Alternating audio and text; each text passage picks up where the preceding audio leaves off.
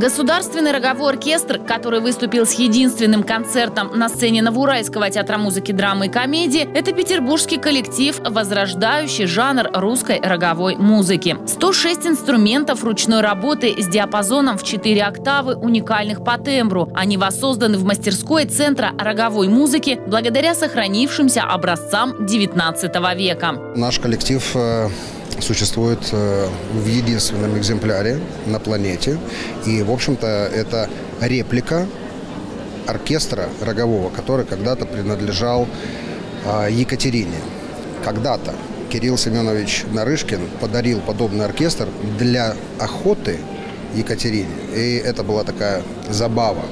Вот. Но со временем эта забава из охотничьей превратилась в искусство, потому что э, научились играть классическую музыку. После отмены крепостного права эти оркестры исчезли.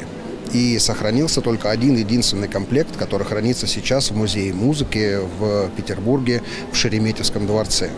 И вот тот комплект, он лег в основу наших инструментов современных. Звучание оркестра похоже на звучание органа, но его внутренняя организация уникальна. Один музыкант может извлечь из рога всего одну ноту, и только при совместном музицировании отдельные ноты связываются и превращаются в цельное художественное произведение. Поэтому роговой оркестр – это яркий пример единства, где высочайшее индивидуальное мастерство каждого исполнителя во взаимодействии служит залогом успеха всего коллектива. Я в Новоуральске не первый раз, потому что уже на протяжении нескольких лет мы работаем вместе с Геннадием Дмитриевичем, потому что он э, руководит совершенно фантастическим фестивалем, вы его знаете, он называется «Новоуральские фанфары».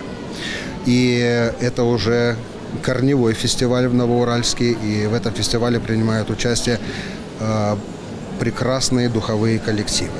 И джазовые, и духовые, очень разные, и детские – вот, поэтому нас уже связывают некоторые годы общения. Я сегодня очень рад, что Геннадий Дмитриевич и корпорация «Росатом» сделали все возможное для того, чтобы мы могли выступить э, в театре. В программе концерта прозвучала популярная классика, музыка Бетховена, Баха, Пьецола, Равеля, Чайковского и других композиторов. Концерт прошел при поддержке программы «Территория культуры Росатома». Анна Крамова, Иван Вахмяков, Новоуральская вещательная компания.